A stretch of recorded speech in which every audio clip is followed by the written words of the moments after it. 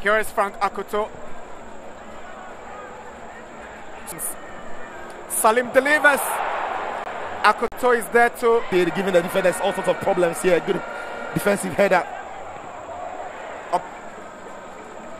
Akoto. Poor decision in the end. Poor execution. Adams. Can't find Mensah. Good defending from Akoto. Finds Obeng Jr. He's got Frank Akoto to beat. Akoto is first to the ball. Obeng Jr. controls on his chest. Tries to find Mensah. Is a penalty. I think Mensah is yeah, it's happening in the box. Didn't catch him. I don't think he caught. It was a wild swing of the leg, but he didn't catch him. Now Frank Akoto. Ball from Untari onto the head of Barnier, but As I say, it's, he likes to draw players to himself and open the gap in behind the players. But what Yawano does is to run with the ball, keep his eye on the ball, elevate it for the volley, and on the turn hit it. Sometimes comes. spotted no infringement. Obeng Jr. Jr. but goalkeeper makes a save. Here is Salim. Accepted by Nurud Kamarim.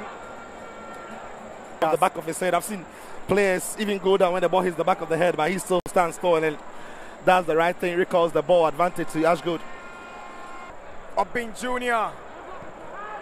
Ball is cleared away by Akoto. Frank Akoto, the former Hearts of Lions defender, swings one in. Sends a cross. Akoto's header.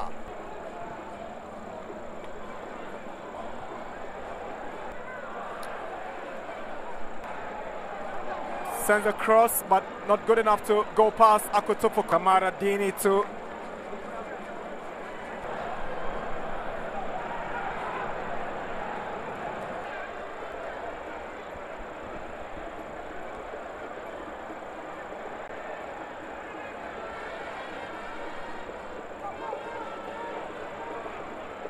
Good play from Koji now. Patrick Razak to Barnier. Stopped by Akoto.